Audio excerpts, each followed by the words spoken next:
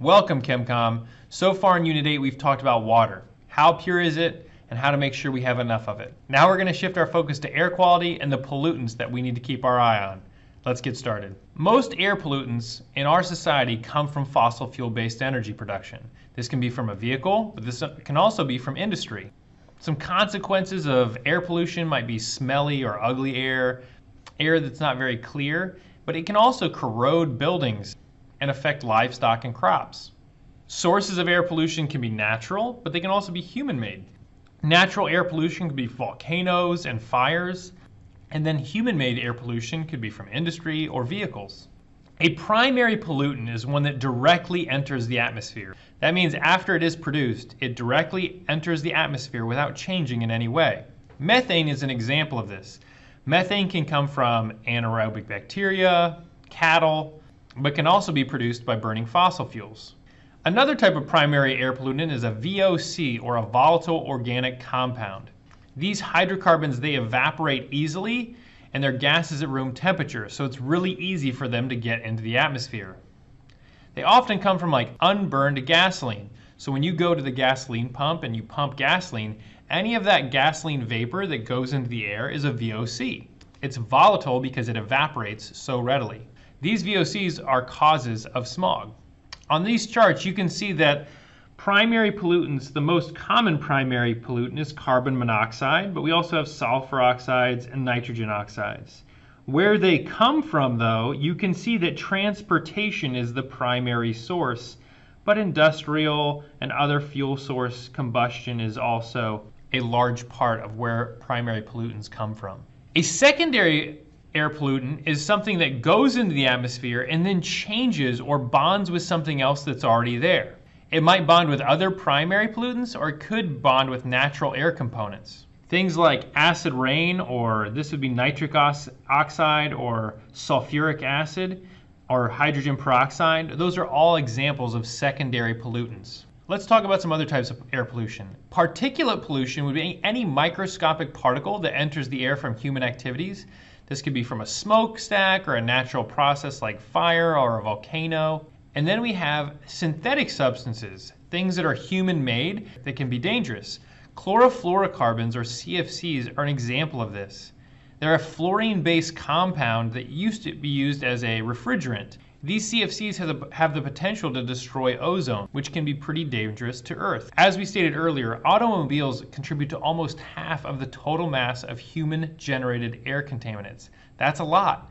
So switching cars to electric is a big push, not just because it saves energy, but also because it reduces air pollution. Another type of pollution, smog, is really just a combination of the words smoke and fog. It's caused by weather conditions interacting with air conditions, and it can endanger your health. Inhaling smog is bad for your lungs. The EPA developed an air quality index that you can see on your phone on your weather app to tell how hazardous the smog or the air is in your area. If you're someone that has asthma or other breathing conditions, the air quality index is a very important thing to, to look at on a regular basis. Photochemical smog is when we have a hydrocarbon that interacts with the sunlight. And typically what it creates is this brown photochemical smog that's really dense and hard to see through. A lot of times you can see pictures of major cities that kind of are surrounded in a shroud of photochemical smog, specifically cities that don't have very good air quality regulation. Smog is constantly moving to different areas. Because vehicles produce most air contaminants, when they operate changes the air quality in a given area. So for instance, morning rush hour is from 6 a.m. to 9 a.m. and because of that, photochemical smog is typically at its highest during that time period. In the evening, there's not as much worry because people go home at different times and therefore spread out the production of that photochemical smog. So what are some things we can do to reduce pollution in the air? We can use technologies that don't use combustion, like an electric vehicle. We can become more efficient with how we burn fossil fuels and therefore producing less. We can also remove potentially harmful substances from the fuel so that when we burn it, it doesn't enter the atmosphere. We can make sure that fuel burns more completely so that we're not releasing VOCs into the atmosphere. And we can also remove those pollutants after we burn it. A lot of times industries do this on top of a smokestack where they're burning some kind of fossil fuel. Let's talk about some of those ways that industries remove pollution. One type is electrostatic precipitation. This is a technique that basically controls the particulate pollutants that industries produce. They pass the waste through an electric field. The waste particles then become charged and attract to a metal plate. Mechanical filtering is kind of what it sounds like. It's using a filter. It's like what you'd see in a vacuum cleaner that kind of is purifying the air as the air passes through. Scrubbing is a process that controls the particles and sulfur oxides that are released into the atmosphere. It takes the fumes off the burning fossil fuel and passes it through something that collects the SO2 and other particulates. Typically, you see scrubbers on the top of a smokestack if you go to a major city that has major industries. Once again, we keep coming back to automobiles. Much of our air pollution comes from our combustion engines in our vehicles. And much of our legislation over the last 50 to 60 years has been an attempt to try to control that pollution that we're adding to the atmosphere.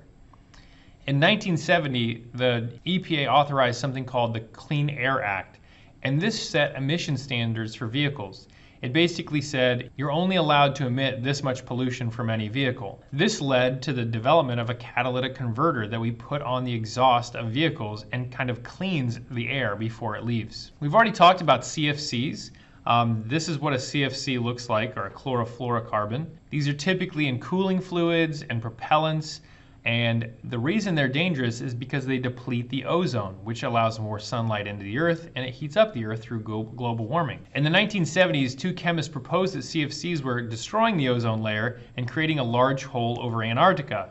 This slide describes how the CFC becomes dangerous to the ozone layer. I'm not concerned that you know the reaction, just understand that a CFC has the potential to deplete the ozone. In 1987, the US and other countries signed something called the Montreal Protocol. It called for the ending of all CFC production and replacing CFCs in industry with another type of coolant. What were developed were HCFCs and HFCs, hydrochlorofluorocarbons, and hydrofluorocarbons. HCFCs took one of the chlorine atoms out of the molecule and therefore less free radical chlorines were being produced and therefore it was not depleting the ozone as much. The disadvantage here is that you're still producing chlorine-free radicals. It's still producing a greenhouse gas. And HFC does not have any chlorine in it. And so the benefit of this is it was not producing any chlorine-free radicals that were attacking the ozone. One type of HFC that is currently used most often is called Puron. It doesn't have any chlorine and it's viewed as much more safe in our current society than we had from Freon decades ago. I hope that helped make you aware of some of the different air pollutants and some of the things that currently threaten our air quality. Once again, just like with water, take some time to think about what you do on a daily basis and how that is impacting the air quality around you. Good job today. We'll see you soon.